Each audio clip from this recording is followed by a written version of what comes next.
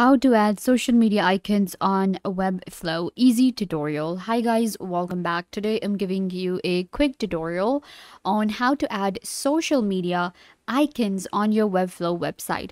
So let's get into it. You will open up your webflow.com website and the website that you're editing. We want to add our social media icons on our website. How to do that? You will click on this plus button right here, which allows you to add different elements. In here, what you can do is you can scroll down to find different elements you can see right here we have layout basics then we have typography media forms and components in components you will be able to find drop down menus then there are social icons you can see we have facebook and twitter we can also add others too with the embed or add url option so what i'm going to do is i'm going to drag facebook and drop it here and now we can just add our Facebook link. It will be added here. Similarly, I can go to this plus button.